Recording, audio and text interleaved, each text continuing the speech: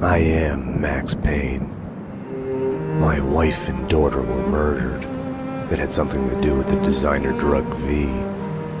I transferred from the NYPD to the DEA, went undercover to find their killers. I got too close. I was framed for murder. With nothing to lose, I went after the Mafia during the worst winter storm in a century.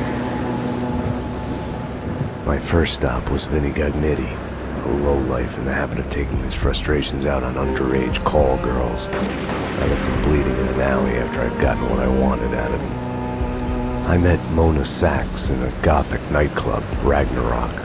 She was a hired killer. We were after the same man, her sister's sadistic husband. I was drawn to her for all the wrong reasons. I made a deal with Vladimir Lem. The Russian was a smooth operator.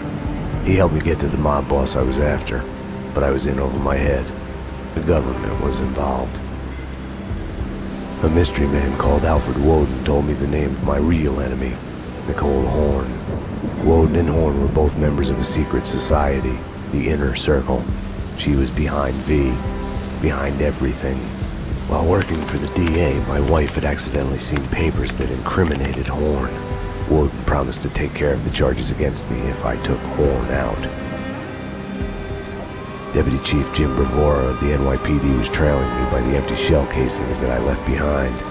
Gunshots made me deaf to the sirens, but they couldn't drown the sobs of my dead wife. Mona sided with me against Horne. She took a bullet for that. Her body disappeared behind closing elevator doors. I killed Horne. I gave myself up to the police. I had enough evidence against Woden to know that he'd keep his promise. I lied to myself that it was over. I was still alive. My loved ones were still dead. It wasn't over.